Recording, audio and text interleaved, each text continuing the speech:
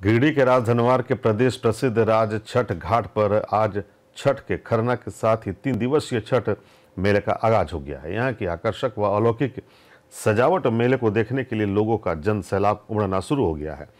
यहाँ की भव्यता और मेले का आनंद उठाने के लिए राज्य के कोने कोने से और आसपास के गाँवों से लाखों की संख्या में लोग वहाँ पहुँचते हैं। यह व्यवस्था को बनाए रखने व छठ पूजा समिति के सदस्य प्रशासन सहित धनवार के लोग दिन रात लगे रहते हैं। रात छठ घाट पर शखुआ के पत्ते के दोने से बनाया गया है सूर्य मंदिर और नदी पर यह बनाया गया और नाव का आकार पुल जुरासी पार्क की तरह है। वही जगह पे आकर्षक तोरण द्वार, लाइटिंग गेट आदि कई कलाकृतियों को देखकर लोग मंत्रमुग्ध हो रहे हैं और वहीं मेला में लगे इलेक्ट्रिक झूले, मौत का कुआँ, मीना बाज़ार आदि चीज़ों का भी लोग लुत्फ उठा रहे हैं। वहीं दीवान टोला छठ घाट में भव्य सूर्य मंदिर चन च- चलंत मूर्ति, कई तरह की प्रतिमाएँ, आकर्षक लाइटिंग गेट सहित कई चीज़ों बनाए गए हैं। और बता दें कि छठ घाट सहित पूरा राजधनवार बाज़ार दुल्हन की तरह सजा हुआ है।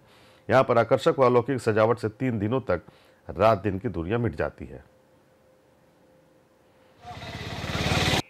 यहाँ आए, राज्य के लोग यहाँ आए, देश के लोग यहाँ आए और आकर के माँ की कृपा प्राप्त करें। जहाँ तक इस क्षेत्र की बात है तो इस क्षेत्र को पैक करने का प्रयास किया जा रहा है। हो सकता है कुछ लोगों को असुविधा हो सकती है, लेकिन लाखों लोगों को अगर सुविधा होती है तो उसके लिए एक प्रयास किया गया है। और इसी के तहत हम लोगों ने छः किलोमीटर के जोन को सुरक्षित बनाने का प्रयास किया है। जो बगोदर से गाड़ियाँ आती हैं, उन्हें बरजो मोड़ के पास, यानी भाभा स्कूल के पास, जो आती है खोड़ी महुआ की तरफ़ से, उसको हाई स्कूल ग्राउंड के पास में रोका जा रहा है। पिछले दो सालों से कोरोना की वजह से तो भीड़ नहीं हुई थी क्योंकि सरकार का बहुत सारा गाइडलाइन था, जिसको सभी को पालन करना था।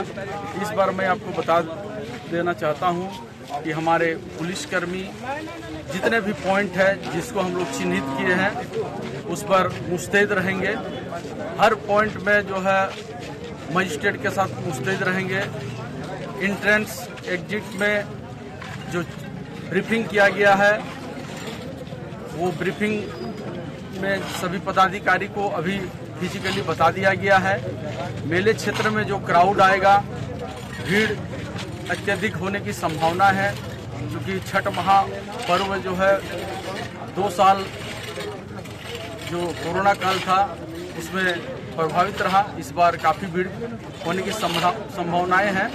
तो आप अ, को ये बता देना चाहते हैं कि बेफिक्र होकर आप मेले में आए और भक्ति भाव से छठी